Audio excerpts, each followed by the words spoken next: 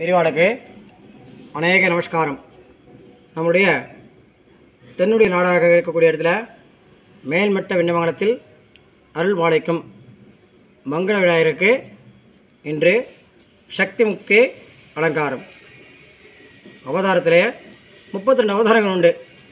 இதில் என்னங்க சக்தி முக்தி அலங்காரம் அப்படின்னாக்கா சக்தி முக்திகள் அப்படின்னாக்கா பழங்களோ பூக்களுக்கு காய்களுக்கெல்லாம் உயிர் கொடுத்து இன்னொரு பிரிவை கொடுக்கிற நாள் தான் இன்றைய நாள்.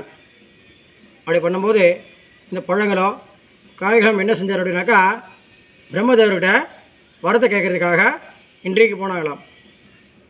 அந்த மாதிரி போகும்போது எனக்கெல்லாம் இன்னொரு பெரிய எனக்கு கொடுங்க அப்படின்னு கேட்குற காலத்தில் அந்த பழங்கள்லாம் வந்துட்டு எனக்கு வந்துட்டு உயிரி கொடுக்கும் தன்மை மட்டும் தான் எனக்கு இருக்குது வரத்தை கொடுக்குற தன்மைகள்லாம் சிவபெருமான் கிட்ட தான் இருக்குது எனக்கு.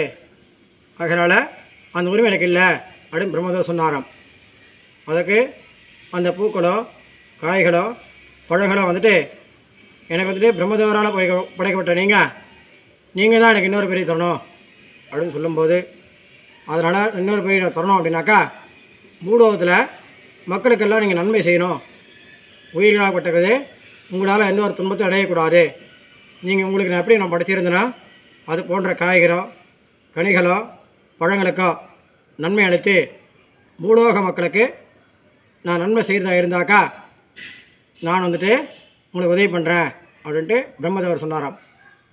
அங்கேருந்து புறப்பட்டு பிரம்மதேவர் சொன்னது ஒரு பக்கம் இருந்தாலும் பூலோகத்தில் இருக்கக்கூடிய மங்கள விநாயகருக்கு மங்கள விநாயகர் அப்படின்னாக்கா சுபங்களை மட்டுமே தரக்கூடிய மட்டும் இல்லாமல் ஊர் மக்களையும் காப்பாற்றக்கூடிய தன்மைகள் யாருக்கு இருக்குனாக்கா அந்த மங்கள விநாயகர் மட்டும்தான் இருக்குமா?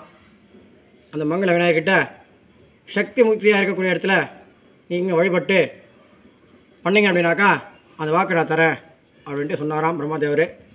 அதற்கு மூலவத்தில் வந்து அந்த மங்கள விநாயகராக இருக்கக்கூடிய இடத்துல சக்தி முக்தி அலங்காரமாக இருக்கிற நானே எனக்கு வந்துட்டு இன்னும் ஒரு புரிய கொடுங்க அப்படின்னு பழங்களாக கேட்டாங்களாம்.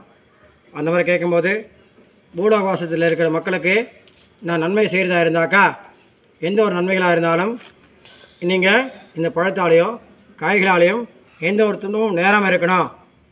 அப்படி நேராமல் இருந்தாக்கா உங்களுக்கு நான் அந்த வாக்கு கொடுக்குறேன் அப்படின்ட்டு விநாயகர் கொடுத்தாராம். அதற்கு நாங்கள் நீங்கள் சொன்ன மாதிரி நாங்கள் நடந்துக்கிறோன்னு சொல்லி இன்று இரவில் இருந்து எனக்கு இன்னொரு பிரிவை கொடுக்குமாறு மங்கள விநாயகர்கிட்ட வாக்குகளை கொடுத்தாராம் பழங்களுக்கு. சுபம் சுபமஸ்து.